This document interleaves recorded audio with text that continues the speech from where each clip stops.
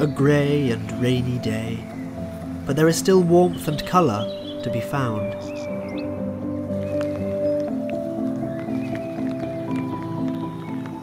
Today I'm at Plas Newydd, exploring the grounds, venturing through the rhododendrons, and enjoying everything that May has to offer.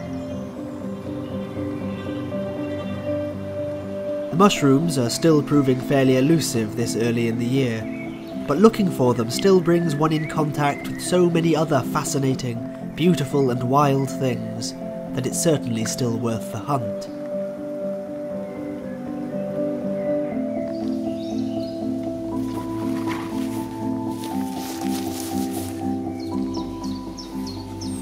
In the past, Plas Newydd has proved quite lucrative on the mushroom front, especially in the case of colourful fly agarics, Amanita muscaria.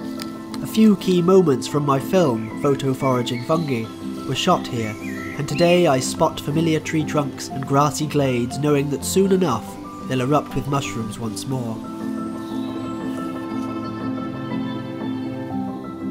But of course, rain or shine, spring or autumn, I never returned from a venture without having found at least one or two mushroom species, and as always, Plas delivers. A lone fruiting body, pleated ink cap in the gardens.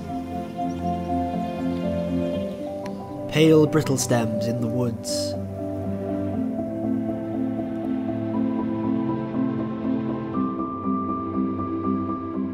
The joy of tracking down the Fifth Kingdom, however, isn't just in the prize of seeing mushrooms. It's the benefit of walking in a beautiful place, feeling connected to the nature which blossoms there, and quite simply being out wild.